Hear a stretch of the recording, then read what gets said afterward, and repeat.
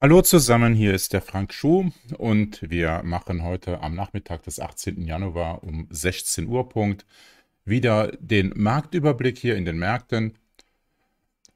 Ein bisschen was hat sich bewegt, aber nicht viel. Dennoch möchte ich da kurz was zu sagen.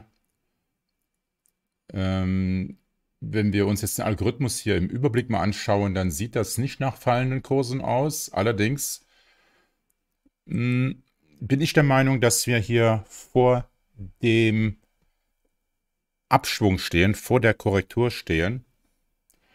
Das geht dann allerdings aus meinen Analysen hervor. Konstantin, ich habe dich erschrocken, ja, ich habe geschrien. Lange nichts von mir gehört im Livestream und nun wecke ich die Leute unsanft auf. So, das kann passieren. Also, wenn meine Einschätzung zutrifft, dann sehen wir jetzt den Moment, in der jetzt nahe bevorsteht. Also ich kann es jetzt auch nicht auf den Tag und die Stunde sagen. Wenn, dass wir in den Indizes, ich beschränke das jetzt mal insbesondere auf die Indizes, dass wir dort eine größere Korrekturphase erleben.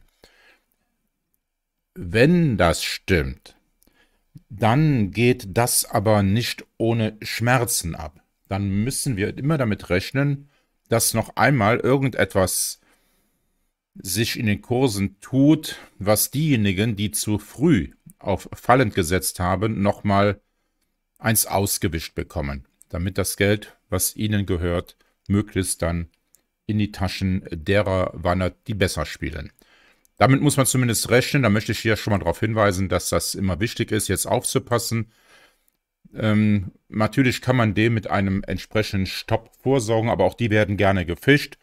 Wenn man diese Bewegung mitnehmen möchte, dann muss man da schon ein bisschen großzügiger mit den Stops umgehen. Das vorneweg. Also weiter geht's. Ich fange an mit dem DAX-Index im 5-Minuten-Chart. Da haben wir unten eine 2 und oben eine 3. Da geht's hoch.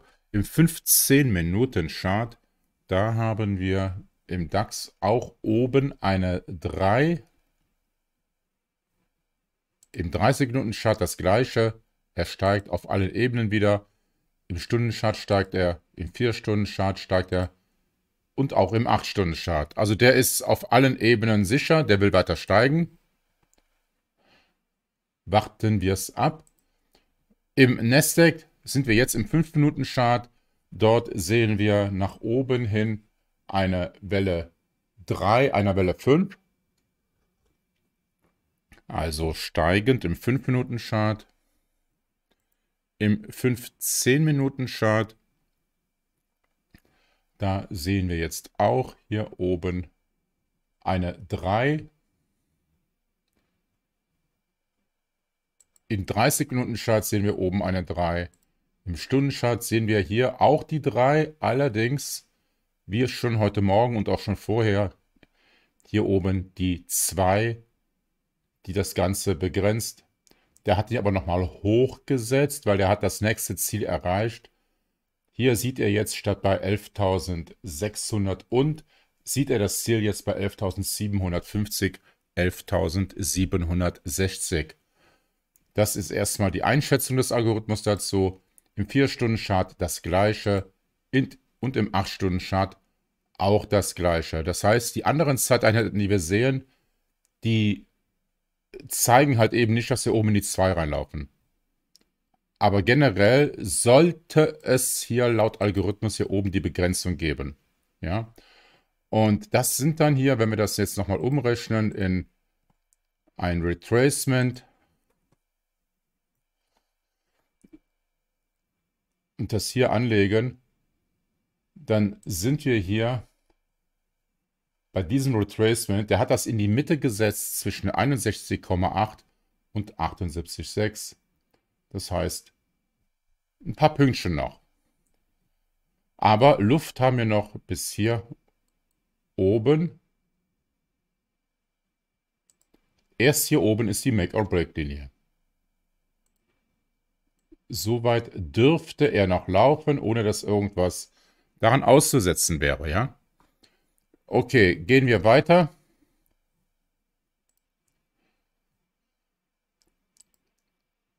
Standard Poor's 500. unten die 1, oben die 2. Es geht runter in die 3 im 5-Minuten-Chart. Im 15er geht es runter in die 3. Im 30er, da geht es hoch in die 3. Im Stundenchart geht es runter. Im 4-Stunden-Chart geht es runter. Im 8-Stunden-Chart, da geht es dann wieder hoch. Hier das gleiche Bild im 4-Stunden-Chart wie im Nasdaq. Das Retracement hat auch so jetzt 70, 80 Prozent gemacht hier. Könnte zur, zum Wendepunkt mutieren, das Ding. Und dann sehen wir fallende Kurse. Dann der Dow Jones Index. Im 5-Minuten-Chart steigend in der 3. Im 15er fallend in der 3. Da haben wir auch hier die 2, hier die 2, aber ihr seht hier, da ist die 1. Die 2 hat noch gar nicht so viel Rücklauf gemacht. Das heißt, die ist jetzt erstmal hier geparkt worden vom Algorithmus, aber auch hier kann noch mal ein paar Punkte nach oben kommen und dann erst runtergehen. Das hier ist noch nicht wirklich sicher, dass das so ausgeht. Dann im 30-Minuten-Chart hier B fertig machen oben, dann geht es runter in die C und die 4. Im Stundenchart, da geht es runter in die 3. Das gleiche Bild, eine bisher noch schwach ausgebildete 2 nach oben. Da ist noch Luft. Im 4-Stunden-Chart, da geht es nach oben in die 3. Und im 8-Stunden-Chart geht es auch nach oben. Aber in die, ja auch in die 3 im Kreis, nach oben.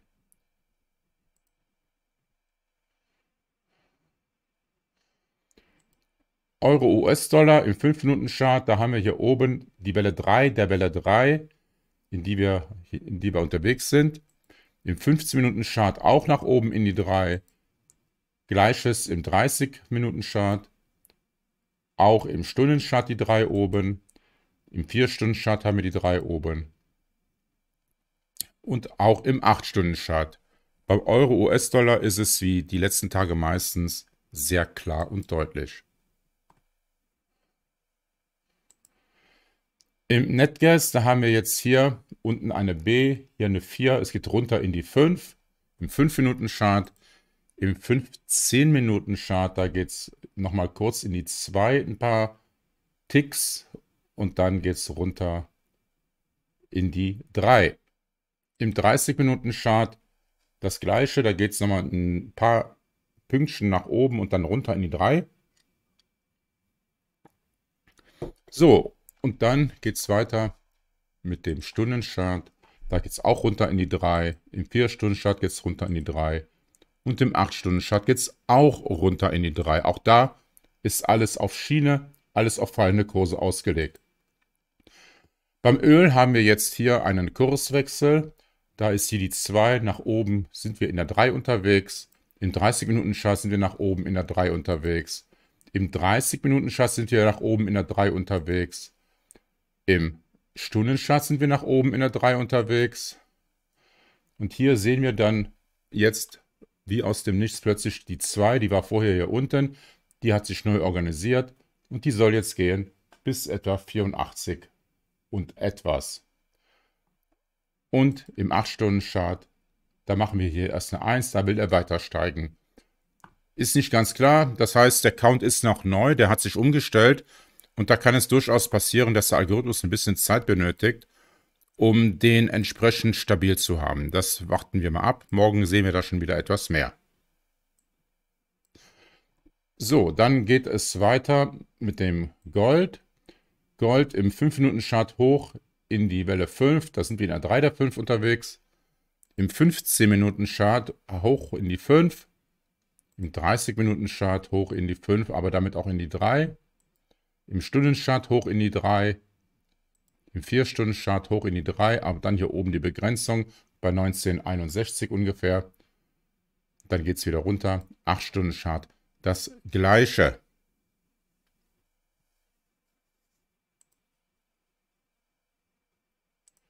Dann noch das Silber. A, B, C. Das heißt, es geht im 5-Minuten-Chart runter in die C. Im 15-Minuten-Chart geht es auch runter hier in die 3. Im 30-Minuten-Chart, da geht es jetzt plötzlich aber hoch in die 3. Im Stundenchart geht es hoch in die 3. Im 4-Stunden-Chart geht es runter in die 3. Und im 8-Stunden-Chart geht es auch runter in die 3. Das hier ist sehr gefährlich. Also die 2 hat quasi sozusagen ihre 100% hier gemacht. Das könnte sein, dass das ganze Ding kippt und der nach oben durchgeht. Abwarten. Also das sieht nicht gesund aus hier, diese Welle 2. Das war es jetzt von den Märkten für den Moment. Danke fürs Zuschauen. Bis zum nächsten Mal. Tschüss.